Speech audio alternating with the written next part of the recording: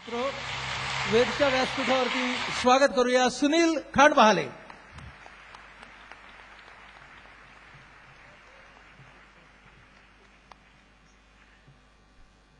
सुनीलची आपण ओळख तर करून घेणारच आहोत आणि करून घेणारच आहोत आणि नंतर मी त्याशी गप्पा मारणार आहे. आणि सुनीलशी गप्पा मारणं हा खूप माझ्यासाठी खूप छान अनुभव असतो नेहमीच. सुनील सुद्धा आपल्या वेदच्या व्यासपीठावरती काही पहिल्यांदा येत नाहीये. त्याचं आपण स्वागत करूया. वेद हा आपला किरणांचा उत्सव आहे. आणि त्या किरणांच्या उत्सवामध्ये सुनील तुझं खूप खूप स्वागत आहे. धन्यवाद. सुनील आपण गप्पा मारायला जी सुरुवात करूया ती तुझ्या आत्ताच्या कामापासून करूया? म्हणजे आज तू एक उद्योजक आहेस आणि तुझी एक कंपनी आहे. एक तू सेवा पुरवतोस. नेमकं तू आज काय काय करतोस? ते जरा आम्हाला सांगशील. म्हणजे आज खानबहाळे डॉट कॉम काय काय करतं? आधुनिक तंत्रज्ञानाच्या माध्यमातून आजचं जग सगळं हे आधुनिक तंत्रज्ञानाचं आहे.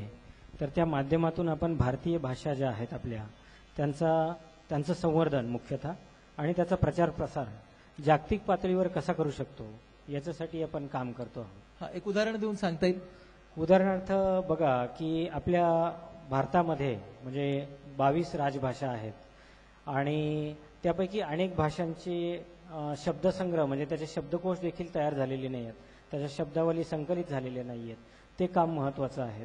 म्हणी वाक्प्रचार जी संस्कृती तयार होते शब्दांपासनं त्याचं जतन आपल्याला करायला पाहिजे. तर त्यासाठीचे आमचे प्रयत्न चालू आहेत. त्याचबरोबर आपल्याकडे बोलीभाषा डायलेक्ट्स ह्या अनेक आहेत. म्हणजे फक्त भारतामध्ये अठराशे ते एकवीसशे भाषा आहेत. तर ह्या सर्व भाषा आपल्याला टिकवल्या पाहिजे.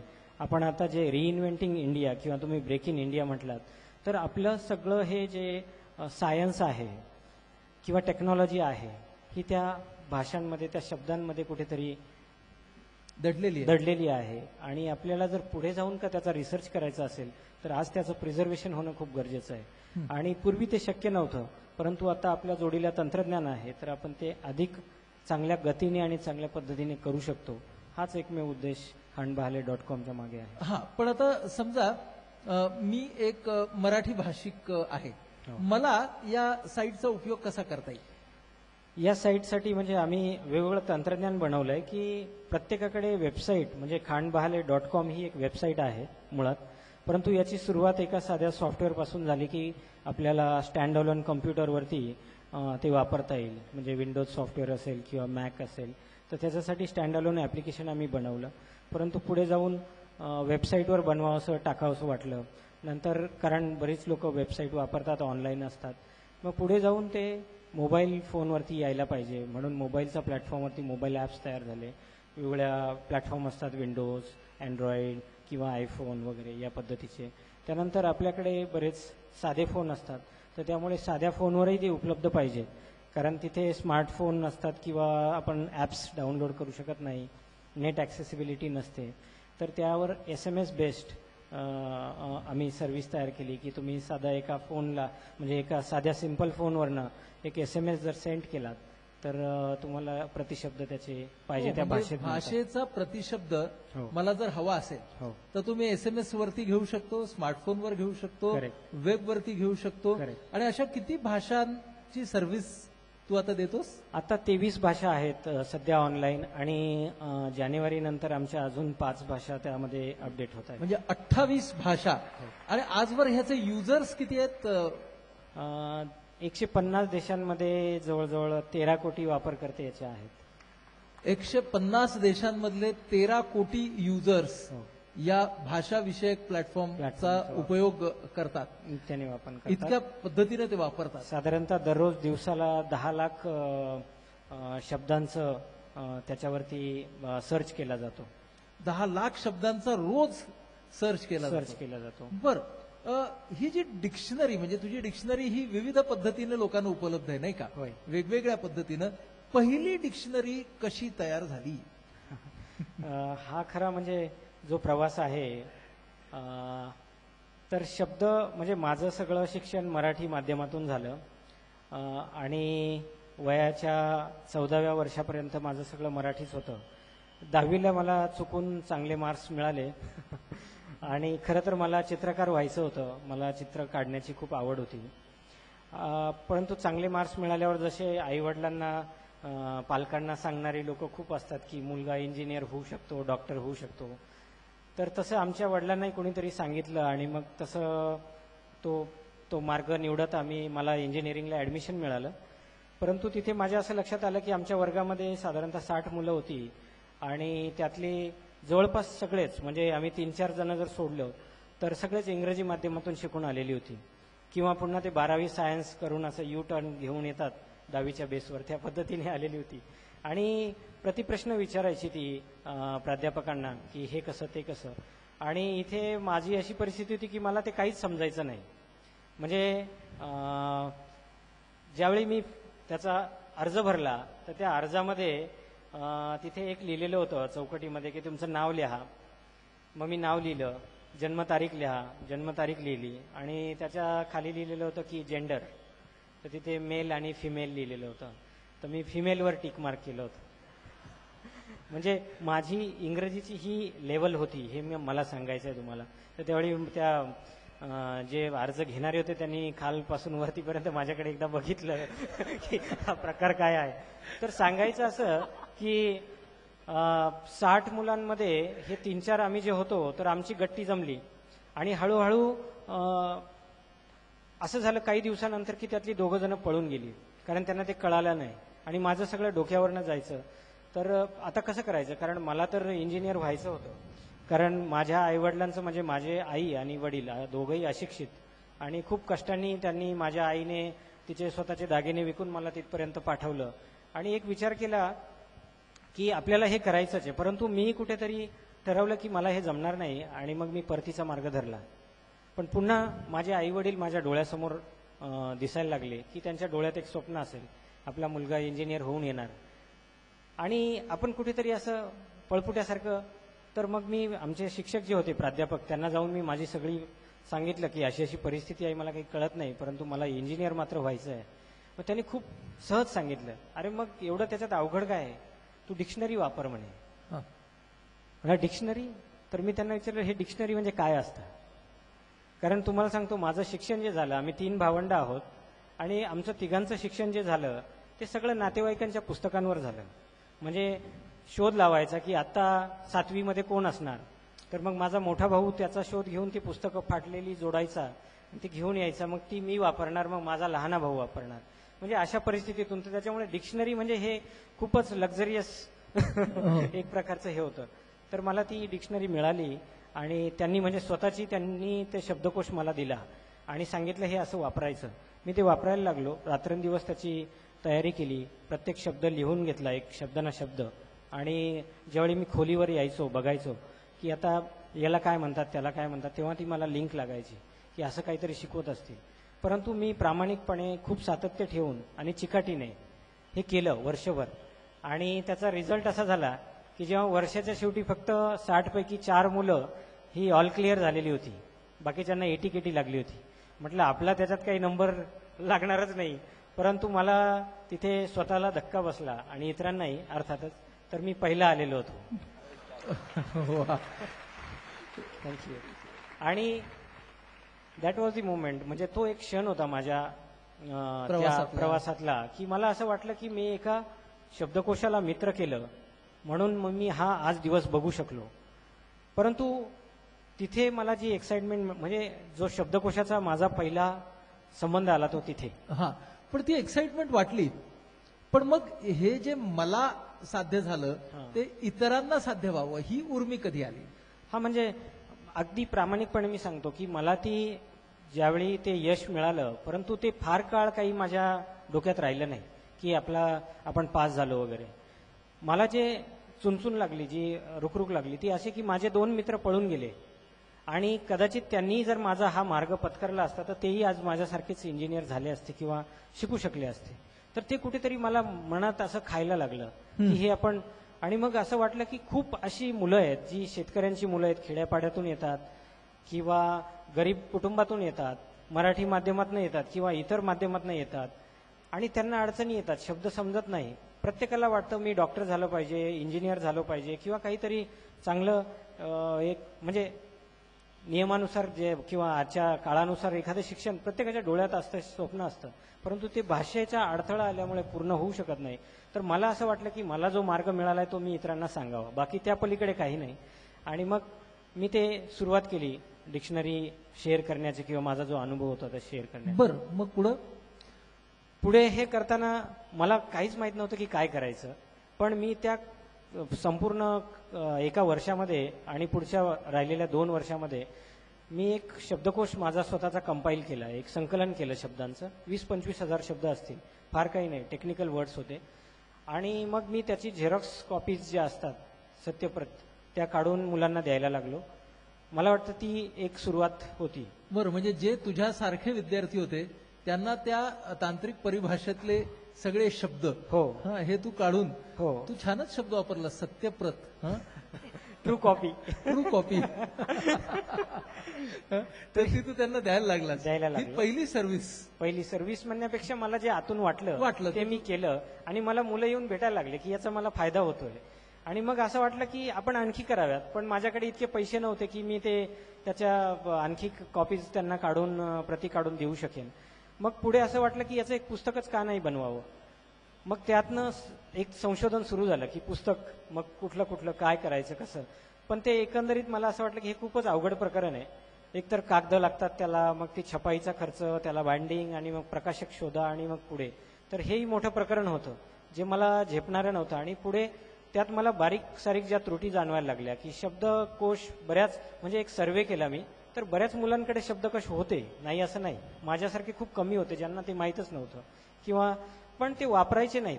मग ते काय कारण आहे? तर ते धूळ खात पडलेलं असतं. एक म्हणजे आधीच आपलं ओझं दप्तराचं आणि त्यात ते घेऊन कोणी फिरत नाही. हँडी नसतं. आणि डिक्शनरी शब्दकोशाचा अर्थ काय की रेडी रेकनर म्हणजे रे रेफरन्स तुम्हाला इन्स्टंट मिळाला पाहिजे. ज्यावेळी तो शब्द अडतो त्यावेळी. मग हे सगळं संशोधन चालू असताना मला एक लक्षात आलं की याच्यावर एक प्रभावी उत्तर होऊ शकतं. ते म्हणजे डिजिटल डिक्शनरी डिजिटल शब्दकोश. पण आता तो खूप बनवायचा कसा हे मला माहीत नव्हतं.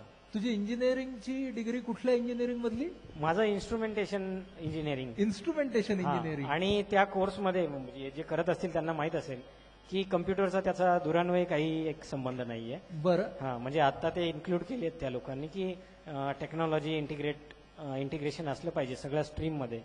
परंतु त्यावेळी काहीही नव्हतं. त्यामुळे मला माऊस कसा पकडायचा हे देखील माहीत नव्हतं. पण कुणीतरी सांगितलं की हे शिकलं पाहिजे. आणि मग मी असं ठरवलं की आपण हे शिकूया. म्हणजे आधी मी लोक मिळवायचा प्रयत्न केला की कुणीतरी कम्प्युटर ज्याला संगणक येतो तो मला भेटेन आणि त्याला मी मदत घेईन त्याची. परंतु फारसं काही मला त्यात यश मिळालं नाही. मग मी ठरवलं की स्वतः शिकूयात.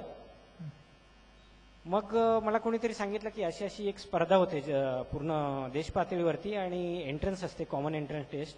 आणि त्याच्यात जर तुम्ही पास झाला तर तिथे तुम्हाला ॲडमिशन मिळते. खूप चांगली संस्था आहे. मग मी त्याची चांगली तयारी केली. त्या संस्थेमध्ये मी चांगल्या मार्काने म्हणजे मला वाटतं मी अव्वल होतो. इतकी मी तयारी केली होती आणि त्यात पास झालो. परंतु ज्यावेळी ती प्रक्रियेच्या शेवटी मला अक्षरशः बाजूला काढून फेकून देण्यात आलं त्याचं कारण म्हणजे माझ्याकडे लगेच त्यांना द्यायला ती फी जी असते प्रवेश फी त्यांची किंवा तेवढे पैसे माझ्याकडे नव्हते. आणि माझ्यासाठी ते खूपच हेवी चार्जेस होते. तर त्यामुळे मी त्यांना विनंती केली की म्हटलं मी इथे काही काम करेन. तुमच्याकडे ऑफिस बॉयचं काम करेन झाडू मारण्याचं काम करेन.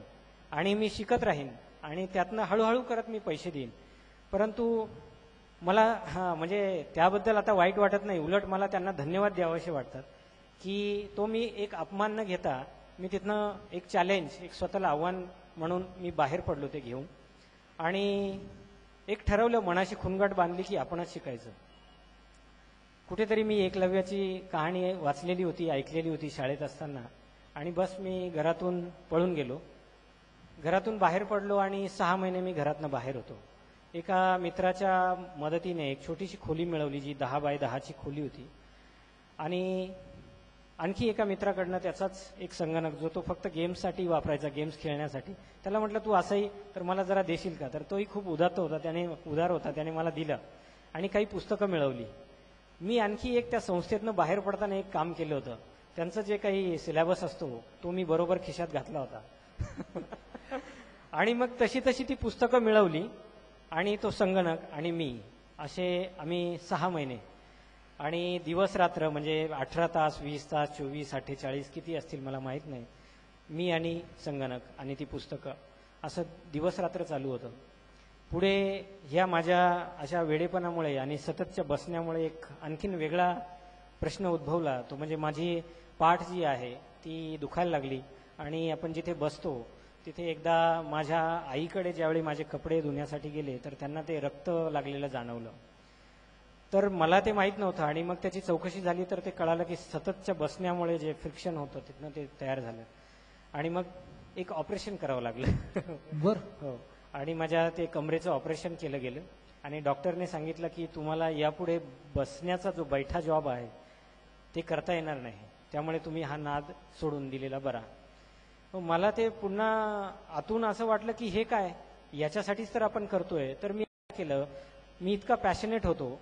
की ते ज्या खुर्चीवरती मी बसायचो त्या खुर्चीमध्ये मी संगणक ठेवला स्क्रीन ठेवली कीबोर्ड ठेवला आणि ज्या टेबलावरती तो संगणक होतो तिथे मी आडवा पडायचो असा. आणि ते सतत ते कीबोर्डवरती करायचो. अशी सहा महिने केली. अक्षरशः झपाटून गेल्यासारखं. हा. आणि त्या सहा महिन्यामध्ये त्यावेळच्या जगातल्या सगळ्या ज्या काही सॉफ्टवेअर प्रोग्रामिंग लँग्वेजेस होत्या त्या मी शिकलो.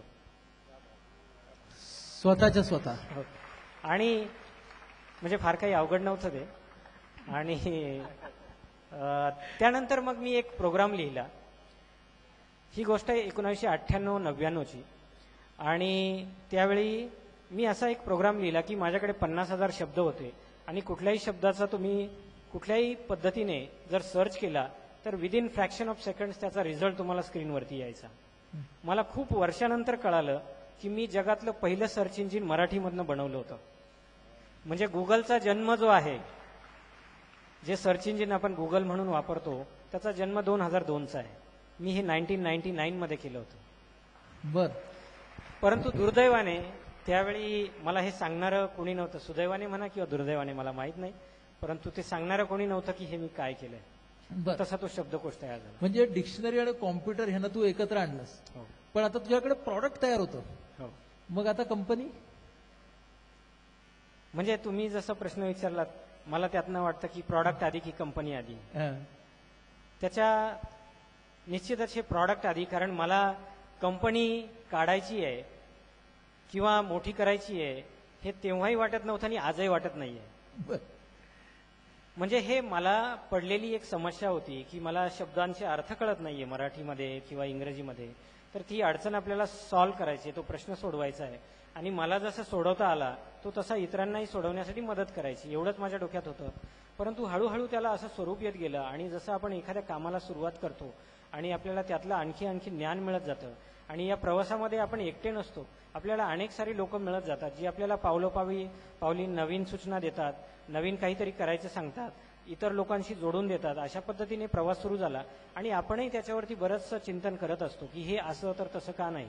तर हे ज्यावेळी सर्च इंजिन मी बनवलं तर ते एक सीडी स्वरूपात बनवलं.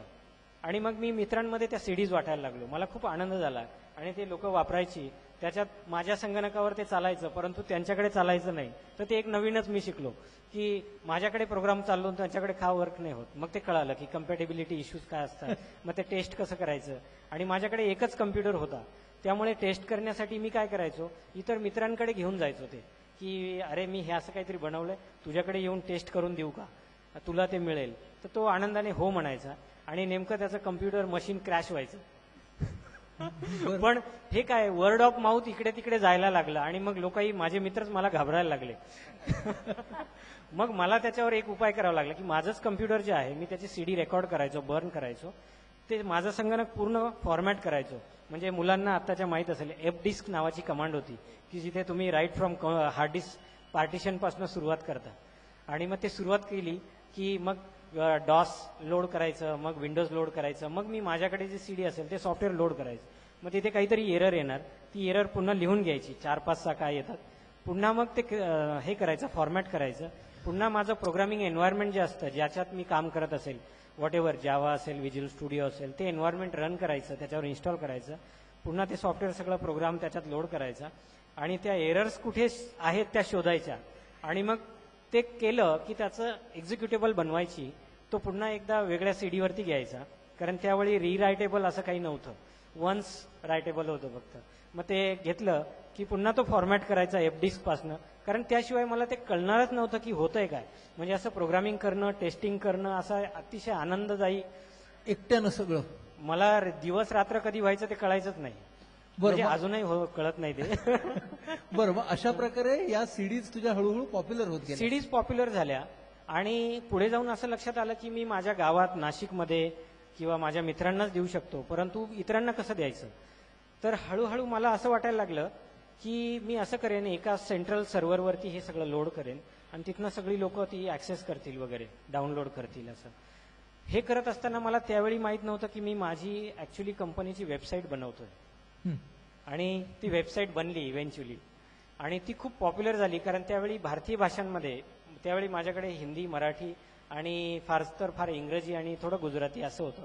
परंतु भारतीय भाषांमध्ये असं नेटवर शोधता येईल असं काही नव्हतं. त्यामुळे लोकांनी अक्षरशः उडी घेतली त्यावरती. आणि मग ती इतकी पॉप्युलर झाली व्हायरल झाली. परंतु पुढे असं माझा अभ्यास वाढत गेल्यावर लक्षात आलं की आपल्याकडे प्रत्येकाकडे संगणक असतो असं नाही. संगणक असेल तर त्यावरती इंटरनेट असतं असं नाही. तर सर्वे केल्यावर असं लक्षात आलं की फक्त दहा टक्के लोकांकडेच म्हणजे दहा कोटी लोकांकडेच इंटरनेट ऍक्सेस आहे. मग हे देणार कसं? कारण खरं तर गरज त्यांना आहे की ज्यांच्याकडे ही टेक्नॉलॉजी नाही आहे मग त्यावेळी हळूहळू लोकां मुलांच्या हातात मोबाईल फोन दिसायला लागले चमकायला लागले. मग मला वाटलं हे एक चांगलं टूल आहे की हँडी आहे. मग मी मोबाईल प्रोग्रामिंग करायचं शिकवलं शिकलं. मग ते शिकून घेतलं पुन्हा आणि मग- स्वतःच शिकलास स्वतःच शिकलो. म्हणजे एकदा हे शिकल्यावर ते शिकता येतं तशा पद्धतीने ते शिकलो. आणि मग मोग- मोबाईल प्रोग्रामिंग चालू करतो वेगवेगळ्या प्लॅटफॉर्मवरती Symbian based Java based Android based वगैरे वगैरे. आणि मग ती प्ले स्टोअरवरती तर त्यातही ते पहिल्यांदाच असल्यामुळे सगळ्यांनी त्याचं स्वागत केलं. पुढे असं लक्षात आलं कारण मी आम्ही काय करायचो? शाळा कॉलेजेसमध्ये इथे ठाण्याला कल्याणला डोंबिवली आम्ही ह्या परिसरात फिरलोय सगळीकडे. तर शाळा कॉलेजेसची मुलं जी याची यायची प्रत्येकाकडे काही स्मार्टफोन नसायचा. आपली साध्या फोन तर मग मी विचार केला की हे फोन किती आहेत? तर असं लक्षात आलं की जवळजवळ ऐंशी टक्के फोन जे आहेत ते साधे फोन आहेत ऑर्डिनरी फोन ज्याला नॉन फीचर्ड फोन म्हणतो. आणि एक वीस टक्के लोकांकडे स्मार्टफोन आहेत. आणि माझा ऑडियन्स खरा तो आहे. मग काय करता येईल? तर या विवंचनेत मी खूप वेळ होतो आणि माझ्या लक्षात आलं की याच्यामध्ये एक कॉमन डिनॉमिनेटर आहे तो म्हणजे S M S no matter तुमचा ब्रँड कुठला आहे फोन कुठला आहे मेक कुठला आहे मॉडेल कुठला आहे एस एम एस करू शकता आणि हाय हॅलो करू शकता. तर आय व्ही आर टेक्नॉलॉजी ज्याला म्हणतो ती थोडीशी क्रिटिकल होती आणि वेळखाऊ होती. म्हणून मी एस एम एस जी चीफ म्हणजे खूप स्वस्त आहे तर मग एक नवीन सर्व्हिस चालू केली dictionary on S M S जी मी आत्ता तुम्हाला सांगितली की एक दहा आकडी नंबर असतो. म्हणजे आम्ही त्याला अगदी प्रीमियम नंबर पण नाही केलं की जे तुम्ही कॉम्पिटेटिव्ह याच्यामध्ये प्रोग्राम्समध्ये वगैरे बघता. तर तिथे विचारलं जातं आणि मग ते खूप सारे पैसे कट होतात वगैरे तसं नाही. तर normal ordinary ten digit number त्याला तुम्ही मराठीमध्ये म, अर्थ पाहिजे असेल. म्हणजे समजा मराठीमध्ये तुम्हाला समजा एखादा शब्द आहे लेट से की बॉय अतिशय साधा शब्द घेऊ किंवा हॅपी तर तुम्ही at the rate M A R space happy आणि तो शब्द पाठवला त्या नंबरला वेबसाईटवरती नंबर आहेत nine double nine double two zero one nine double two zero one किंवा nine double two zero two nine double two zero two ते वेबवरती दिलेले आहेत. ती नंबर बदलत असतात काही कॉन्स्टंट आहेत. तर त्याला पाठवले की पटकन मिळतं. असं जवळजवळ सगळ्या तेवीस भाषांमध्ये ते अवेलेबल आहे. आज तेवीस भाषांमध्ये ही सेवा उपलब्ध आहे. आणि मध्ये एकदा असं झालं सुनील मी एका कंपनी एक्झिक्युटिव्हच्या गटाबरोबर काही वर्ग घेत होतो. आणि तिथे आमचं मराठी आणि इंग्रजी अशा भाषांच्या मध्ये बोलणं चाललं होतं. आणि मला एका इंग्रजी भाषेतल्या शब्दाला प्रतिशब्द अ, सापडेना मी बोलताना. आणि जो माझ्यासमोर बसलेला होता त्याने मला पटकन तो प्रतिशब्द दिला. तर मी त्याला धन्यवाद दिले आणि मी त्याला म्हटलं तुला कुठून मिळाला? म्हणजे मला तुझी आठवण झाली. तो म्हणाला खांडबाळे डॉट कॉम. तर म्हणजे तो तुझा एक युजर होता. पण असं होता होता मला तू एक सांग की तुझ्या व्यक्तिमत्वामध्ये असं काय काय आहे की ज्यामुळे तू आज जिथं आहेस तिथे आहेस?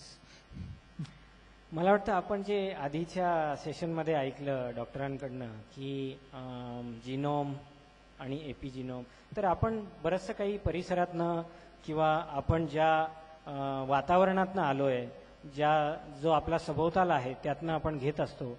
आणि मी खूप नशिबण आहे की माझा जन्म एका छोट्याशा खेड्यात झाला. आणि आजही मी त्याच खेड्यात राहतो. आमची एक जॉईंट फॅमिली आहे एकत्रित फॅमिली आहे. आणि इथे आणि वारकरी संप्रदाय आहे आमच्या घरामध्ये. तर ते जे काही संस्कार झाले माझ्या आईकडनं वडिलांकडनं तर मला वाटतं हे सगळं कॅरी फॉरवर्ड होत गेलं आणि त्यातनं आलं.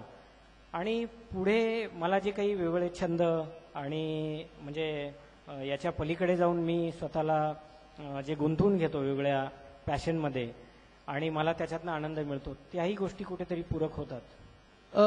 तू आता अमेरिकेला जाऊन आलास. हं? तर त्यावेळेला गुगल मायक्रोसॉफ्ट या सगळ्या कंपन्यांबरोबर तुझी बोलणी झाली.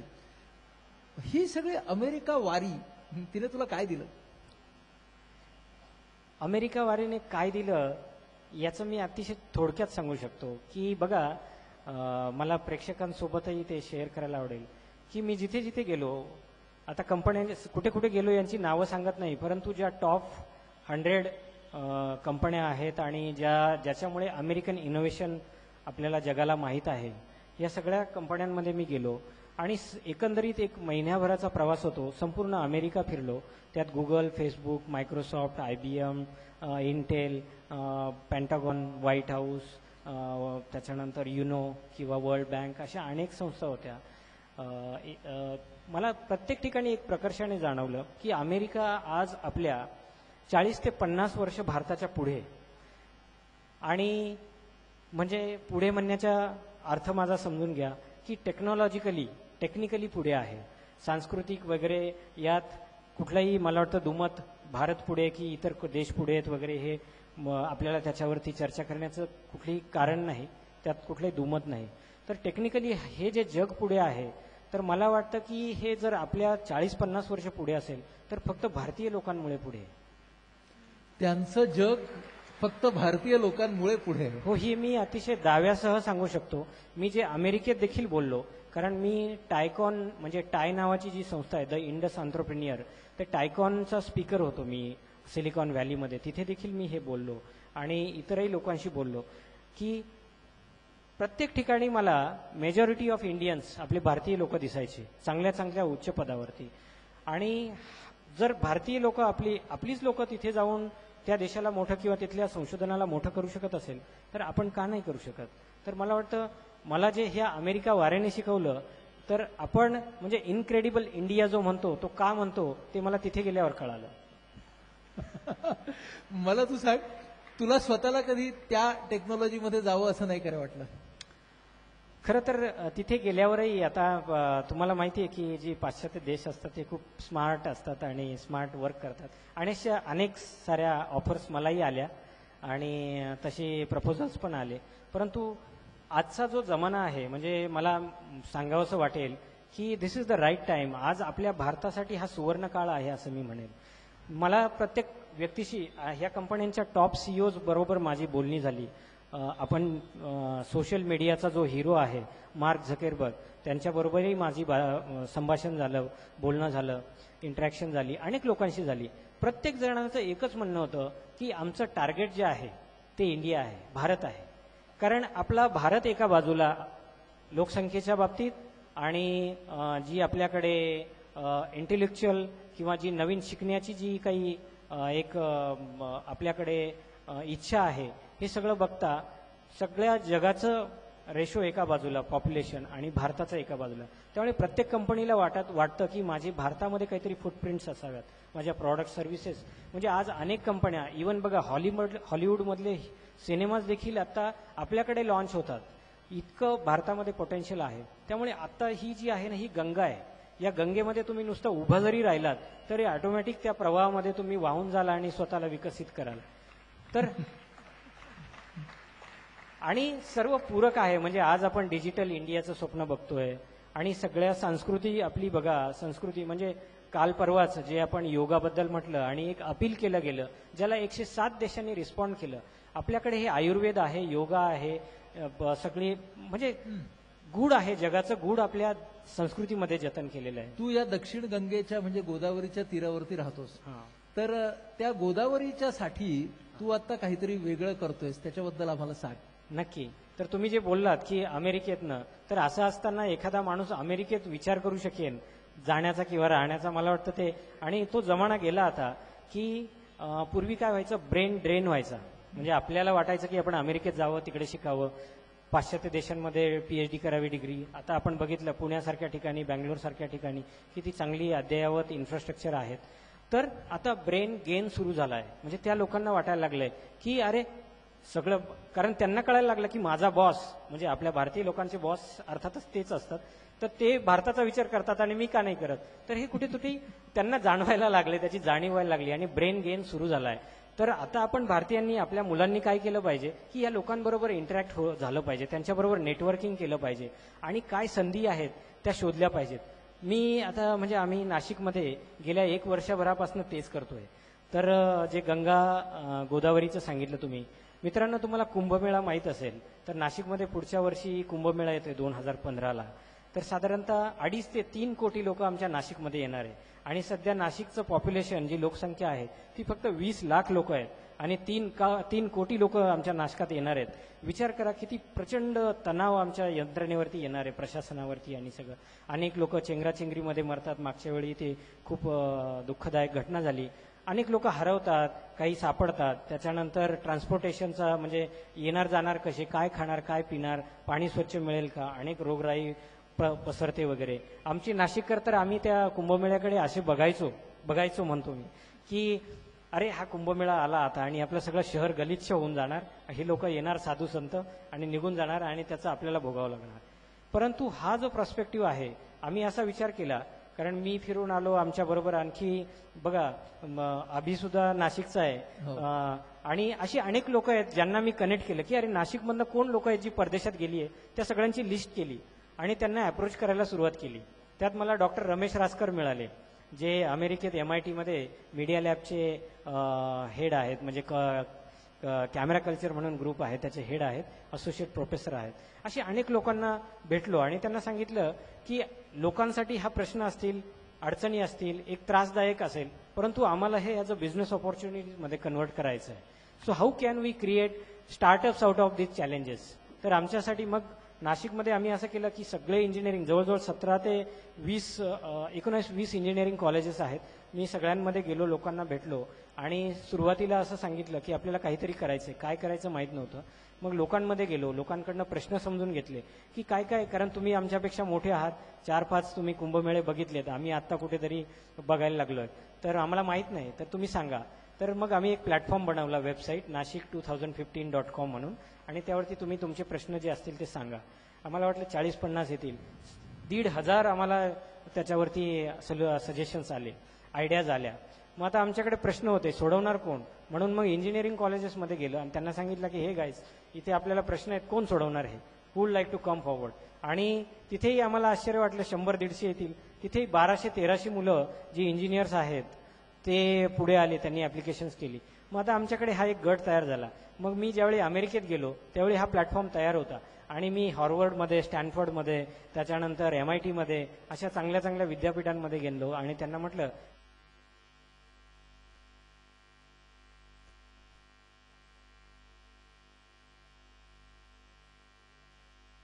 प्रश्न आहेत तुम्ही येऊन आम्हाला मदत कराल का? आणि आश्चर्य त्यांनी लगेचच चटकन हो म्हटलं. आणि मागच्या एक वर्षापासून दर तीन महिन्यांनी अमेरिकेतली हार्वर्ड स्टॅनफर्ड आणि एम आय टीची लोक नाशिकमध्ये येतात. या जवळजवळ अडीचशे लोकां मुलांबरोबर काम करतात. आणि ह्या या एका वर्षामध्ये ज्या मुलांनी असा विचार केला होता की मी आता कोर्स झाला की कुठेतरी जॉब सर्चसाठी प्लेसमेंटमध्ये जाईन सर्व्हिसमध्ये ॲप्लिकेशन टाकेन तर त्या मुलांच्या आता बारा स्टार्टअप्स कंपन्या आज नाशिकमध्ये उभ्या आहेत. वा. क्या बात. क्या बात. पण तू एक उद्योजक आहेस नाही का? तुझं नफा आणि फायद्याचं समीकरण काय ते मला सांग. मला हे नफा आणि फायदा हे दोन शब्द मला बिलकुल आवडत नाही. बरोबर. कारण बघा म्हणजे प्रत्येक गोष्टीला आपण प्राइस टॅग कसा लावू शकतो मला तेच काही कळत नाही. आजपर्यंत कळालं नाही. क्या बात. क्या बात. तुझ्यासाठी महत्वाचं काय आहे उद्योजकतेमध्ये? मला वाटतं पॅशन म्हणजे जसं तुम्ही एक सांगितलं की इच्छा आणि पूर्ती ही जी आहे तर आपली जी इच्छा असते आणि ती इच्छा पूर्ण झालेली आपल्याला बघायची म्हणजे त्याची पूर्ती झालेली बघायची असते तेच मला वाटतं उद्योजकासाठी खूप महत्वाचं असतं. आणि मी देखील म्हणजे त्या प्रोसेस त्या प्रक्रियेतनं गेल्यामुळे आणि अनेक उद्योजकांना मी भेटलोय आतापर्यंत. म्हणजे आणि मला वाटतं माझ्यापेक्षा त्यांच्याकडे बघून मला खूप काही शिकायला मिळालं. आणि तुम्ही जे आता हे जे टायटल आहे आपले इच्छा ते पूर्ती तर त्यामध्ये हे बघत नाही की मला नफा किती झाला तोटा किती झाला मला त्याच्यात किती यातना सहन कराव्या लागल्या किंवा किती मला चांगले प्रपोजल्स आले माझा बँक बॅलन्स किती आहे त्यांचं टार्गेट एकच असतं ते म्हणजे पूर्ती. माझी इच्छा जी आहे ती कंप्लीट झाली का? एवढंच त्यांचं एक असतं. आणि मला वाटतं उद्योजक म्हणजे दुसरं काही नसतं तर हाच एक प्रवास म्हणजे उद्योजकता असते. वा क्या बात क्या बात. आता तुझ्या आवड निवडीकडे येतो. वारकरी संप्रदायाचा तू उल्लेख केलास. तुझं आवडतं भजन कोणतं? आवडती भजनं तर खूप आहे परंतु मला माझा म्हणजे वारकरी लोकांचा जी जो जो देव आहे किंवा जे आपण स्वर्ग आहे असं आम्हाला वाटतं. प्रत्येकाला वाटलं पाहिजे असं गरजेचं नाही. ते म्हणजे पंढरी पंढरपूरचा विठोबा. तर ते जे गाणं आहे की म्हणजे भजन आहे ते माझं आवडतं आहे पाहिजे तर दोन मोळी मी हो. गुणगुणून दाखवेन. जाता पंढरीसी सुख वाटे जीवा जाता पंढरीसी सुख वाटे जीवा आनंदे केशवा भेटताची. जाता पंढरीशी सुख वाट जीवा. जाता पंढरीशी या सुखाची उपमा नाही त्रिभुवनी. सुखाची उपमाया सुखाची उपमा. नाही त्रिभुवनी पाहिली शोधोनी अवघी तीर्थे अवघी तीर्थे अवघी तीर्थे जाता पंढरीशी सुख जीवा जाता पंढरीशी. वा वा वा. क्या बात क्या बात है क्या बात है क्या बात तुझ्यासाठी वाक्य पूर्ण करावाली राऊंड देतो आता? माझे आई बाबा म्हणजे माझ्यासाठी? माझे आई बाबा म्हणजे माझ्यासाठी आद्य गुरु आहेत. पाहिजे तर मी सांगू शकेन मला आवडेल. कारण आजही माझ्या आईने मला जरा वेळापूर्वी फोन केला होता आणि फक्त एक विचारलं जेवण केलं का? तर आजही तुम्ही माझ्या आईबाबांना जर भेटलात बिचारे शैक्षणिकदृष्ट्या अडाणी आहेत परंतु मला पालकांना सांगावंसं वाटेल की आजही माझ्या आईवडिलांना जर विचारलं की तुमचा मुलगा काय करतो तर त्यांना बिलकुल सांगता येणार नाही. आणि आजपर्यंत त्यांनी मला कधी विचारलं नाही की तू काय करतो फक्त त्यांचा विश्वास आहे माझ्यावरती की जो काय करतो आहे मुलगा ते चांगलं करत असणार. वारकरी संप्रदायाने मला शिकवलेल्या गोष्टी म्हणजे? वारकरी शिप संप्रदायाने तर खूप काही शिकवलं. म्हणजे तिथूनच मला सगळं मिळालं. परंतु मला वाटतं जे आपण ज्याला मूल्य शिक्षण म्हणतो ते मला याच्यातनं मिळालं. त्याचा एक प्रसंग मी सांगतो की ज्यावेळी माझं इंजिनिअरिंग झालं त्यावेळी माझ्या डोक्यात आणखी एक विचार होता की काय करावं? आणि काहीतरी स्वतःचं करावं. कारण खूप सारी आत्मचरित्र मी वाचली होती. उद्योजकांची. त्यातनं आपणही एक उद्योजक व्हावं आपलंही काहीतरी एक असं साम्राज्य असावं असं वाटायचं.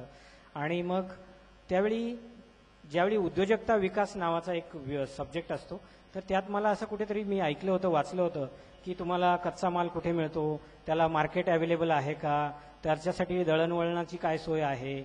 वगैरे वगैरे हे सगळं असे गोष्टी होत्या. आणि त्यातनं मी सगळा अभ्यास करून त्यात तत्वात बसवलं. आणि मला लक- लक्षात आलं की नाशिकमध्ये द्राक्ष मुबलक प्रमाणात होतात. आणि मग द्राक्षामुळे द्राक्षापासून उत्तम प्रकारची वाईन तयार केली जाऊ शकते असं मला वाटलं. कारण तिथेच लोकांना सगळं मिळेल आणि रेडी त्याच्यात सगळ्या तत्व प्रिन्सिपल्समध्ये बसत होतं. आणि मी त्याचा सगळा रिपोर्ट बनवला त्या वायनरी कशी बनवायची वगैरे. त्याचं प्रपोजल बनवलं एका बँकेला ते सादर केलं आणि बँक दुसऱ्या दिवशी त्याचं प्रपोजल म्हणजे आम्हाला एक मला लेटर मिळणार होतं. आणि सादर केलं म्हणजे सादर करण्याच्या अगोदरची जी अवस्था होती दुसऱ्या दिवशी मी जाऊन ते बँकेला ते प्रपोजल देणार. आधी सगळी चर्चा झाली होती आणि मला त्याच्यासाठी लोन पण मिळणार. परंतु असंच एका संध्याकाळी मला सायंकाळी मी बसलेलो असताना आपण चिंतन करतच असतो. तर त्यावेळी मला कुठेतरी असा आतून आवाज आला कारण एक वारकऱ्याचा मुलगा आणि दारू बनवणार? आणि लोकांचे संसार उद्ध्वस्त करणार असं कुठेतरी आणि जशी एक भीती वाटते तशी भीती मला वाटायला लागली. आणि बस त्याच क्षणी तो जो प्रपोजल मी बनवलेला होता तो जो प्रस्ताव तो फाडून टाकला. आणि मला वाटतं हे जे आतून आलं ते वारकरी संप्रदायाने भूतकाळामध्ये ज्यांनी मला हिणवलं अपमान केला अशी एक व्यक्ती आता माझ्या ऑफिसमध्ये येते तेव्हा मी मी नतमस्तक होतो त्या व्यक्तीपुढे. आणि त्यांचे चरण स्पर्श करतो. क्या बात. सगळ्या इच्छांची पूर्ती झाली असती तर? तर मग काही मजाच राहिली नसती. माझ्या एखाद्या इच्छेची पूर्ती होण्यासाठी. खूप काळ लागणार असेल तर मी? खूप काळ लागणार असेल तर मी स्वतःच जे स्पीड आहे वेग आहे तो वाढवतो. जेणेकरून ती स्फूर्ती की ती जी आपली इच्छा आहे ती लवकर मला उघडेल माझ्या मनातली एखादी इच्छा पूर्ण झाली नाही तर मी?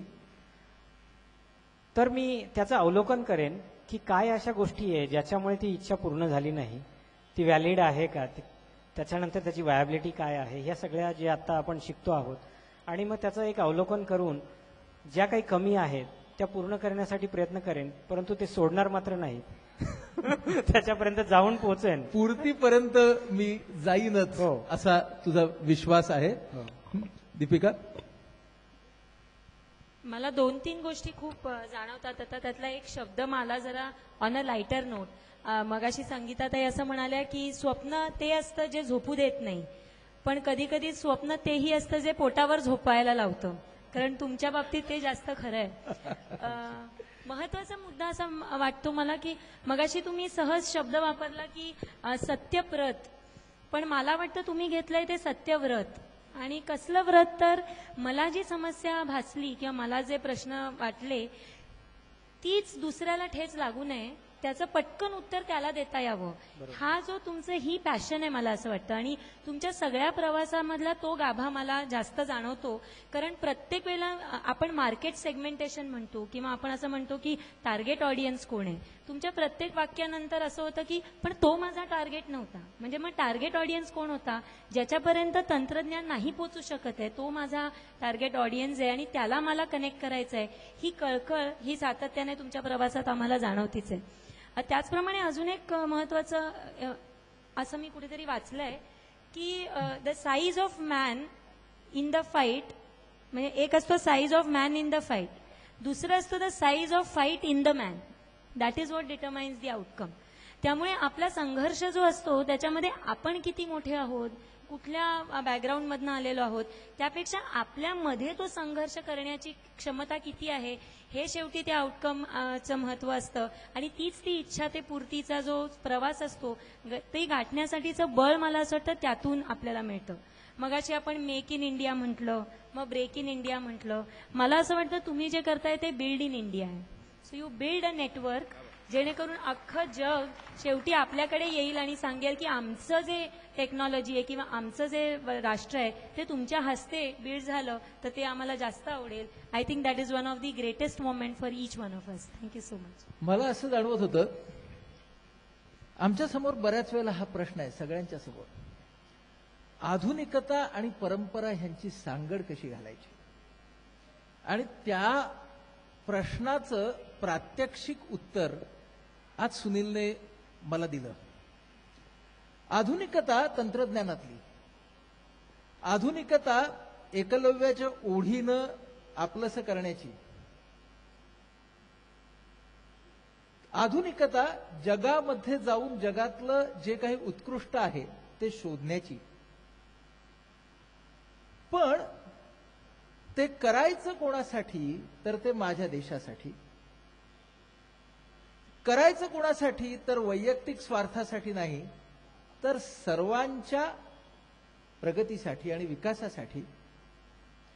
हा खरं म्हणजे भारतीय परंपरेतला विचार आहे.